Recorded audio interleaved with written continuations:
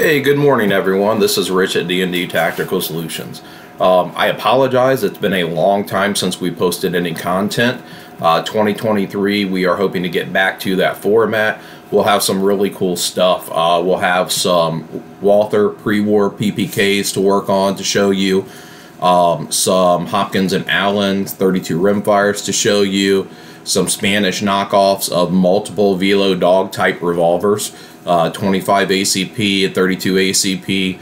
We'll also do some builds. Um, we'll do some AR builds. We'll do some AK builds. We do have a fun PPSh-41 coming up um, soon for a customer. So we've got a lot going on this year. So thank you for your patience. We appreciate the subscribers that we have.